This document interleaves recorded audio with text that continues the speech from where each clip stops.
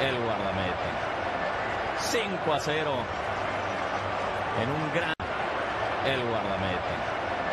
5 a 0 en un gran el guardameta.